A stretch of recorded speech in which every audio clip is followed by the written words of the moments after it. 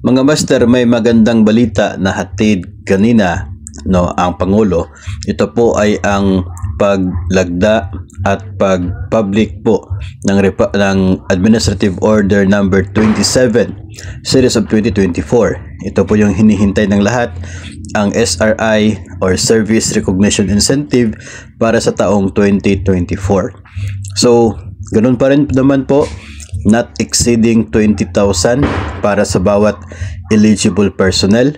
Ito pong uh, SRI na ito. Uniform rate po dapat hindi lalagpas sa 20,000 ang mga empleyado ng mga government agency no na eligible dito po sa SRI na ito. So, marami po, hindi lamang po DepEd, kundi maging other government agencies ay kasali po sa uh, mayroong SRI 2024. Pareho lang naman po no, yung laman ng guidelines na ito sa mga nagdaang taon. At ganun nga, still in government service as of November 30 ang pinaka-requirement at dapat meron ng at least 4 months na serbisyo as of November 30 para buo ang SRI.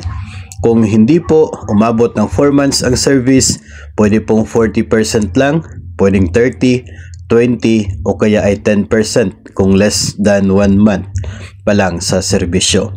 Pero yung mga separated na po, nag-resign na, nag-retire o kaya ay namatay bago pa man po ang November 30 ay wala na po makukuha na SRI. Wala pong proportion na SRI para sa mga separated na yung wala na po sa serbisyo as of November 30. Well, yun po yung talagang uh, guidelines na ng SRI simula pa po noong nasa 2019. No? So, ganun pa rin naman uh, atin pong abangan ngayon no kung kailan yung release.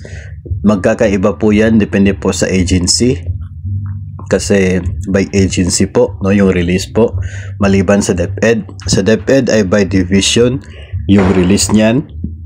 So pwede po na itong DepEd ay magbibigay ng dagdag pondo para sa iba't ibang division offices. At maging ang DBM ay pwede rin pong ganon ang mangyari for DepEd division offices. Para po sa halaga na matatanggap ng bawat eligible personnel.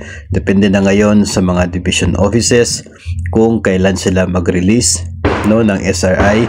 Depende po yon sa availability ng pondo doon po sa account para maibigay sa mga eligible personnel. So, para po sa other agencies, uh, karamihan po ay isang opisina lang naman po yung nagre-release sa inyo like with DepEd na super dami po ng mga divisions. And in other agencies sa central office po nila yung releasing. So pwedeng sabay-sabay na po kayo sa uh, buong agency.